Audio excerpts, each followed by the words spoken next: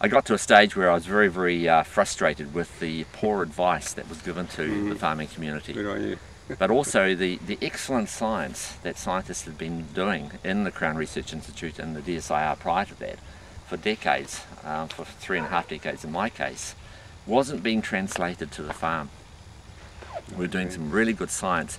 And this, you can see it graphically illustrated in terms of our nutrient emissions into the waterways, into our lakes, groundwater systems, which the EW and regional councils are struggling with at the moment.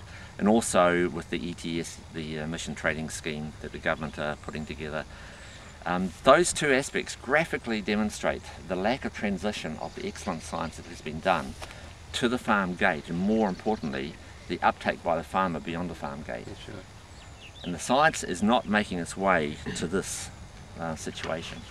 So from a climate change perspective, we've got a situation where it is slowly dawning on a lot of the researchers involved that agriculture has the most significant role to play of any part. In fact, farmers can literally and are the only segment that can literally save the planet.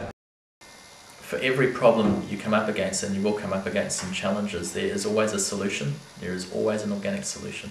But keep taking it back to nature, keep taking it back to the soil, and it's that, get it right in the soil, and everything else eventually follows down the track.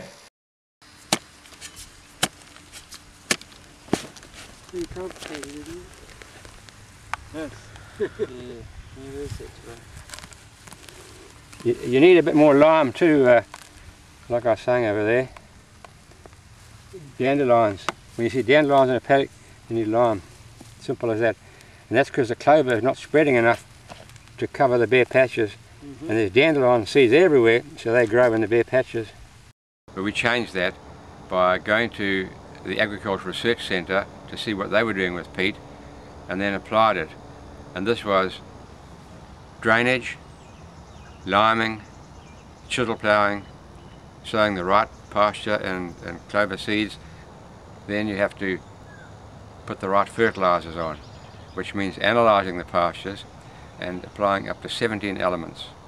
And unfortunately, there's still many farms who don't, farmers who don't use those known principles now. Biological is the word that should be used, not organics, because uh, organics is the clean green that everybody's been brainwashed to think, and it's definitely not like that. Whereas biological is a far better system. If you fix the soil, most of the problems just come right naturally, and I think it's a far better end result. These clays are very high magnesium clays, uh, so that's why they're fairly tight clays. um, and uh, we've proved on our other property that we can uh, knock the magnesium levels down. Uh, we took it from 20 26% uh, magnesium um, down to, uh, we actually took it too far, took it down to about 8% by uh, putting on uh, calcium um, and it's back up to about 13% now. But on this farm, uh, this soil here at the moment is about 15%, um, and we're slowly working. We're taking it slower at at um, putting putting calcium on slower than what we did on the other farm because we released too much uh, potassium, and uh, we don't want to cause any animal health uh, issues. Uh, the reason that got us interested in organics was, I guess my father had been farming for 35, 40 years and he'd, he'd seen farming decline really in that time. We'd put on more and more um, artificial fertilisers uh, and our inputs were, were going up and up and we had to keep adding more and more things to keep our cows healthy and alive and he just thought, well geez, there's got to be a better way.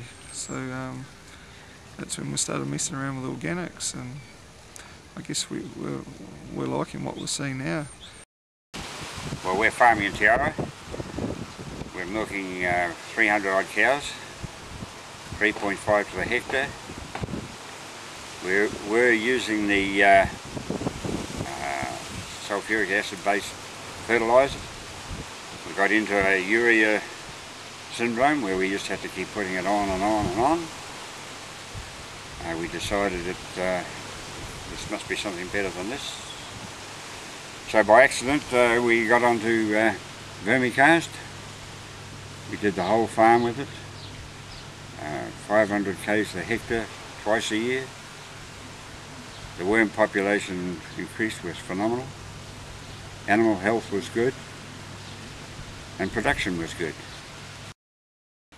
Journalists say, you know, they say, oh, you're using Probites, your fertiliser program and all that, but it's only part of your program. Um, you know, I only use 200 kilograms of Probites a year, which is stuff all, really.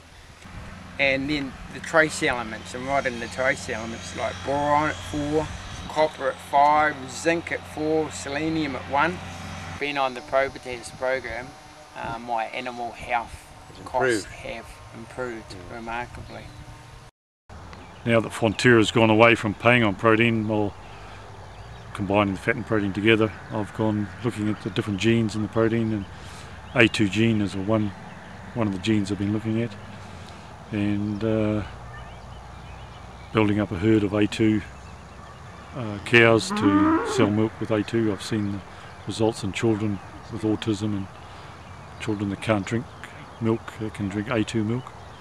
So that's uh, another line of down the protein, but I still feel there's more to develop. And now that I'm looking at the health of my cows and going away from chemical fertilisers, I'm looking at uh, selling raw milk and seeing the advantages of um, using raw milk and not destroying the enzymes in the milk. But the best uh, form of uh, medicine is actually uh, through the diet. Um, we try to have uh, a range of uh, species in the pasture. Um, can't see too much here because the cows have eaten it, but you know chicory and plantain, docks, um, yarrow, uh, as well as uh, trees and flax. We're trying to get trees and flax around every uh, paddock so the cows can uh, self-medicate off those. Hi, I'm Tineke. I'm Homeopathic Farm Support. And Homeopathic Farm Support is a business that helps farmers who want to use homeopathy. And the goal of Homeopathic Farm Support is to have the farmers uh, um, use homeopathy in a correct, in a safe and a gentle way. The way that we actually started with organic principles and then moved through into biodynamics, which is a just a bridge of organic, which is a wee bit more intense and a wee bit more working in a holistic approach, more so than perhaps the modern day organic systems are.